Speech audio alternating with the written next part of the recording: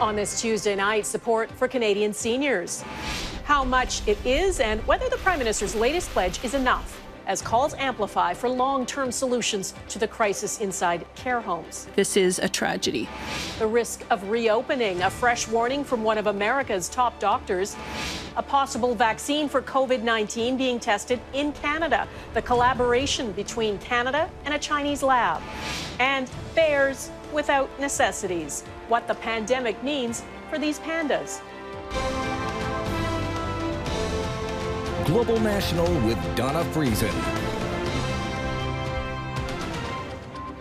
Good evening and thanks for joining us. Lots of developments to get to on this Tuesday. From a new deal to test a possible vaccine here in Canada to an appeal in Quebec to wear masks in public. And there's new support for seniors struggling to make ends meet. The federal government is giving out one time payments of up to $500 to help cover expenses. Canadians who receive old age security will get an automatic top up of $300. Those eligible for Guaranteed Income Supplement or GIS will get an additional $200. About 6.7 million Canadians are expected to receive the payments. It's estimated to be worth about $2.5 billion.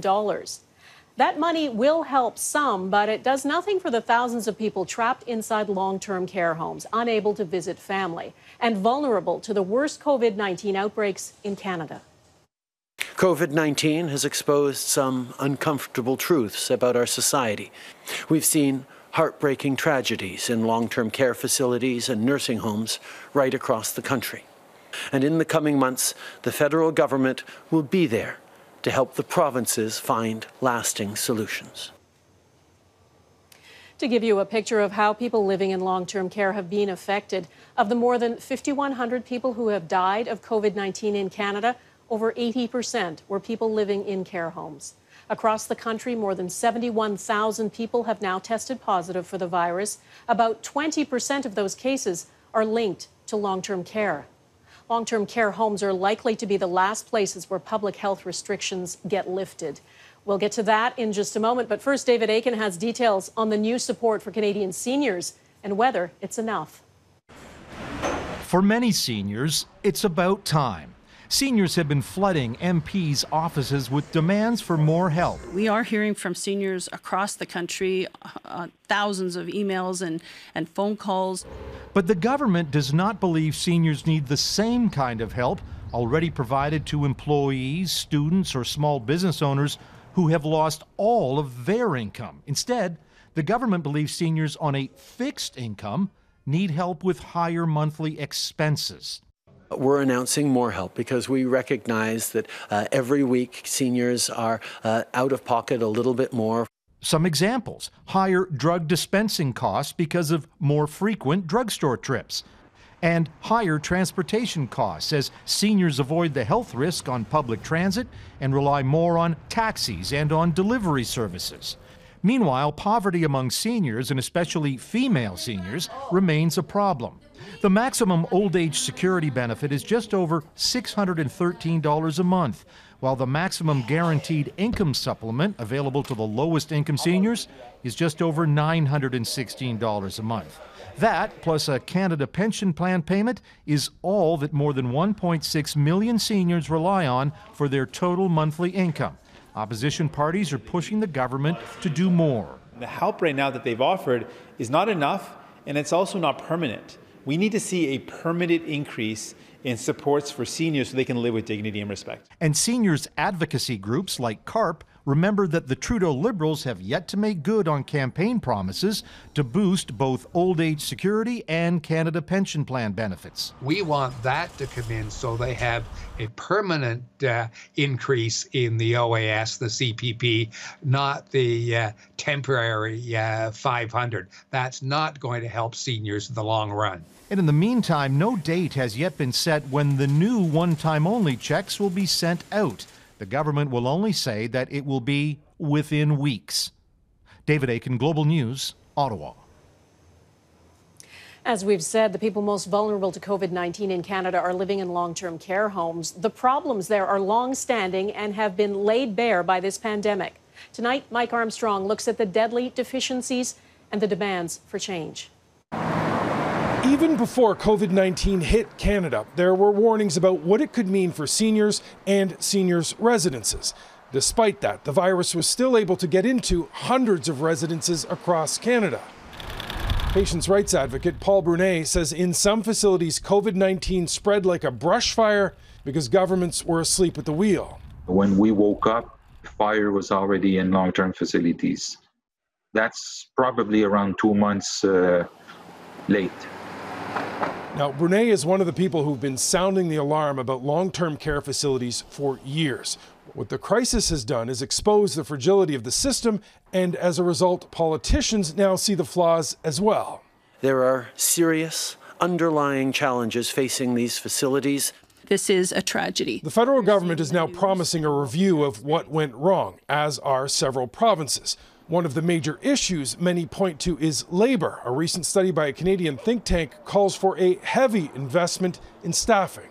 In terms of their numbers, in terms of uh, their education and training, uh, in terms of the autonomy we give them, a whole range of things. There are also calls for more inspectors and inspections. In Quebec, there are reports this week some facilities hadn't been visited in as much as five years. That's actually not far off from what the current rules require. They have to be inspected at least one time every three years. One option Quebec's premier has floated is the government taking over private residences. Well, critics say that would be like nationalizing the horror stories that they hear more complaints about public facilities than private ones. You are not even doing the right job in the public, and you want to nationalize it? I don't want that. No, no, no. Now, the issue will be front and center Wednesday in Ottawa. The House of Commons Health Committee is holding a hearing focused specifically on long term care facilities and seniors. Mike Armstrong, Global News, Montreal. For the first time since the pandemic was declared, Quebec's Premier Francois Legault showed up at his daily press briefing wearing a mask. Legault is now strongly recommending Quebecers wear a mask when they leave home to help reduce the spread of the virus. It is not mandatory in Quebec, partly because of a supply shortage. Legault says wearing masks does not take the place of proper hand washing and physical distancing where possible.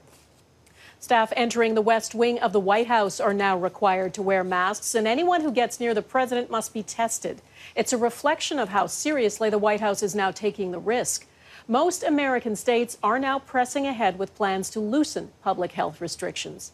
And today, Dr. Anthony Fauci, who has served under six presidents, cautioned against rushing to reopen and what it could lead to. Jackson Proskow reports randomized trial. The first congressional hearing of the coronavirus era brought little good news.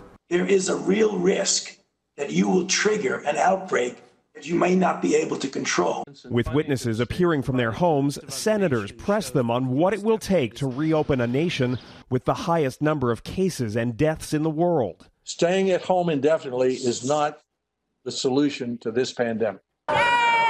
The experts warned repeatedly about the risks of relaxing measures too quickly and suggested the official death toll of more than 80,000 is likely missing the true scale of the pandemic. I think you are correct that the number is likely higher. I, I don't know exactly what percent right. higher, but almost certainly it's higher. One Republican senator who contracted the virus himself cast doubt on those words of caution. I don't think you're the end all. I don't think you're the one person that gets to make a decision. I have never made myself out to be the end all and only voice in this. I'm a scientist, a physician, and a public health official. I give advice according to the best scientific evidence. The head of the Centers for Disease Control said the U.S. needs to increase contact tracing by 5 to 10 fold to prevent future outbreaks. There were warnings that a vaccine won't be ready if children are sent back to school in the fall. A worry as cases of a mysterious inflammatory illness linked to COVID 19 rise in young people. We have met the moment, and we have prevailed. All of it contradicts the message delivered by President Donald Trump just 24 hours earlier as he touted the increase in testing in the U.S. I find our testing record nothing to celebrate whatsoever.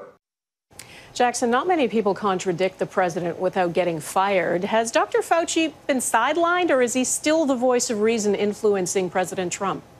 Well, Donna, he's certainly seen his role change in recent weeks. He's less visible. There are no more daily White House coronavirus briefings. Fauci is, though, still working behind the scenes inside the White House to help shape policy. We should point out, though, a poll that came out today is not likely to make the president happy. It shows 67% of Americans trust Anthony Fauci. Only 36% trust the information they're getting from the president right now. Jackson Proskow in Washington, thanks. It's hoped gradually easing restrictions will lessen the likelihood of a new wave of community transmission here in Canada.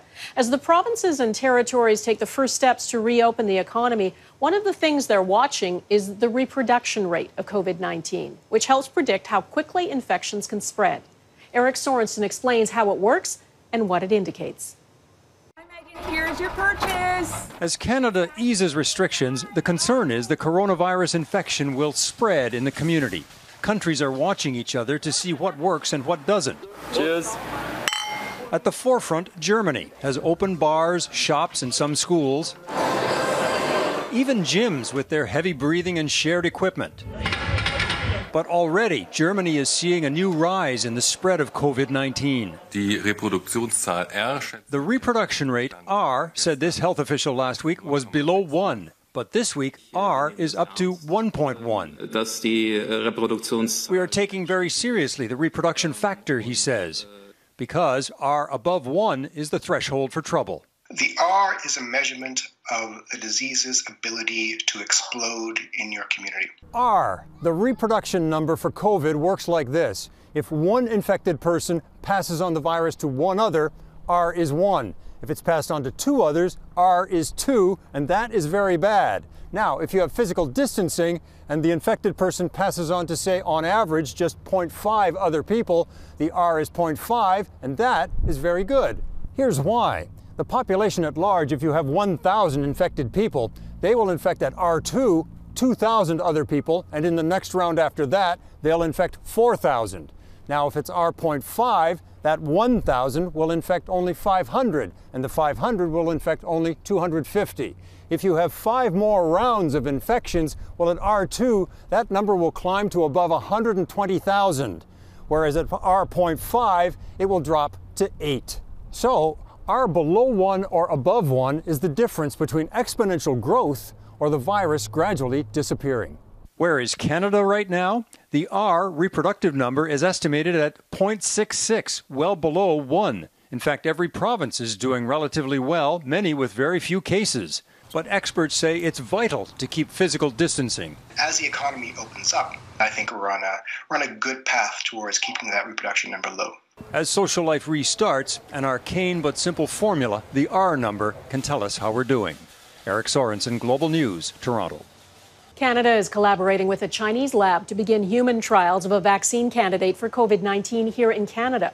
The National Research Council has made an agreement with CanSino Biologics in China, a laboratory it's worked with since 2013. Human clinical trials of a possible vaccine are already in their second phase in China.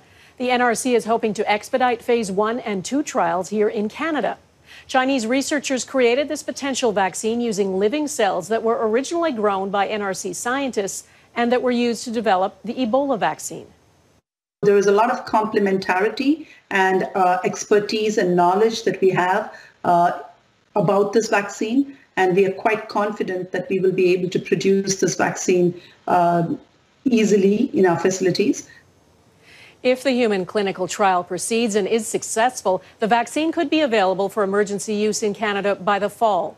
CanSino needs approval from Health Canada to begin the trials here. It's hoped to have a made in Canada vaccine. The federal government has earmarked $44 million to upgrade manufacturing capabilities at the NRC production facility in Montreal. Eight other vaccines have reached the stage of human clinical trials, including in the US, Germany, and the UK. And there are about 100 other potential vaccines being worked on. They're in the earlier stages of development. That's according to the World Health Organization. Reaching the stage of human trials does not mean success is guaranteed. Most trials fail, and it usually takes years for a new vaccine to be approved for use.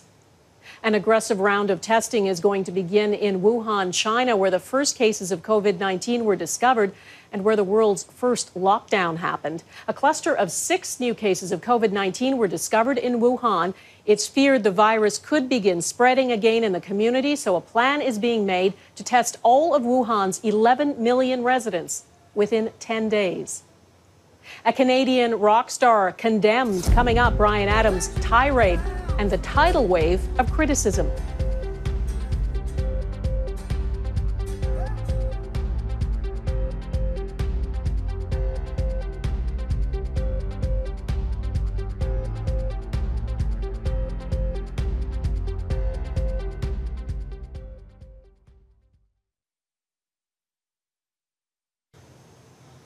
In Nova Scotia, investigators are trying to figure out how the man behind one of this country's worst mass killings was able to plan his deadly rampage without getting caught. As Ross Lord reports, new photos of the killer's home may offer some clues. Photos obtained by Global News show the gunman's home in Portapique last November, five months before his rampage. Inside, there are images of a spacious bar. Another picture shows a series of at least eight motorcycles. Then there's this one, a car decorated like an RCMP cruiser with the same identifying number, 28B11, as this car, the one the gunman drove during the killing spree. The contractor who took the pictures wishes to remain anonymous, but says he turned them over to investigators shortly after the massacre. To gain insight into the killer's actions, the RCMP says it will conduct a psychological autopsy. Such autopsies examine a wide range of issues, everything from how a killer relates to others, to warning signs, to abuse he might have perpetrated or suffered previously. Psychologists who advocate for psychological autopsies say examining killers more closely can save lives. I think it's important that we as Canadians commit to a course of action to use the events of Portapique to lower the probability that this ever happens again. Some pieces of the puzzle are coming into focus. The Mounties say they've identified the supplier that made the RCMP decals on the killer's car. The decals were actually produced without the business owner's consent. Now, the business owner and the person who created the decals are cooperating with police. Investigators say witnesses have told them the gunman had a large supply of gasoline in Portapique. They believe he used it as an accelerant to start fires during the rampage. Ross Lord, Global News, Windsor, Nova Scotia. Ahead, speaking out about surveillance from China, a Chinese Canadian woman says she's being targeted.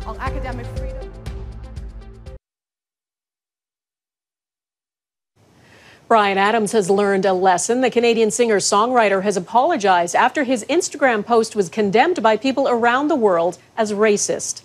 I'm going to read it, so apologies in advance. Adams blames the COVID 19 pandemic on some effing, bat eating, wet market, animal selling, virus making, greedy bastards. He was lamenting the cancellation of a concert series he was supposed to perform at London's Royal Albert Hall. People called him crass and racist. He deleted that rant and posted this Apologies to any and all that took offense to my posting yesterday. No excuse. I just wanted to have a rant about the horrible animal cruelty in these wet markets being the possible source of the virus and promote veganism. Here's the thing according to the World Health Organization, all available evidence is the virus did originate in animals in China. It could have come from bats, but it's still not certain, nor is it clear how and where the virus jumped the species barrier to humans. There is no evidence it was made by anyone. Adams says he has love for all people and that his thoughts are with everyone dealing with this pandemic around the world. A Chinese Canadian woman who is a vocal opponent of the Chinese Communist Party says she and her family are paying the price. Anastasia Lin was born in China and immigrated to Canada at the age of 13. She went on to win Miss World Canada and has been outspoken about human rights abuses in China and the so called United Front. That's the networks the Chinese government uses to influence government policy in the West. Robin Gill reports. I am not anti China. Anastasia Lin knows Beijing has many eyes on her, especially when she gives these speeches critical of the communist regime. Its censorship of information endangers global health. Now, the coronavirus outbreak is a perfect example. But her blunt manner has consequences back in China, where she was born and where her father still lives. He's been banned from leaving the country, and the family's business acquaintances are visited by an agency known as the United Front when the national security agent invite you to drink tea, it means that they're going to meet up with you, issue a vague threat. The United Front is a tentacle of the Communist Party of China and operates both at home and abroad. According to Amnesty International, the operatives allegedly harass or threaten people of Chinese heritage living in Canada to turn on dissidents and shut down critics. The way they operate is through fear and greed the two worst things in human nature. They try to intimidate you. If it doesn't work, they try to buy you off. According to security experts, these so called spies are right here in Canada and are agents of China's Cold War with the West. The reports that we have are persons who have been subject to harassment by agents of the Chinese regime, whether they are persons in, in Canada with diplomatic protection because there are more um, diplomats accredited to the People's Republic of China in Canada than uh, all other countries. The Chinese embassy in Ottawa did not answer requests from Global News to respond to these allegations, so we went to the Prime Minister. His response? We will continue to defend human rights uh, while at the same time looking to uh, protect uh, Canadians everywhere around the world. Lin refuses to be silent and encourages others to be just as vocal. There are already a lot of voices. I just hope that people will listen to them. There are people listening, but many are reporting back to China. Robin Gill, Global News, Vancouver. Bye bye, bears. Next, why Calgary's giant pandas are going home early.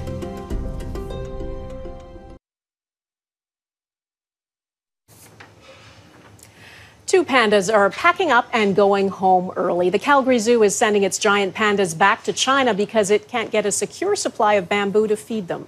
Ershun and Damao arrived in Canada in 2014 on loan from China and are much loved. They were supposed to stay until 2023, but fresh bamboo has been hard to get because of disrupted flights and misdirected shipments. We have a responsibility to provide fresh bamboo every single day. And that's a, not an option. And in this COVID environment, it's, it's too risky.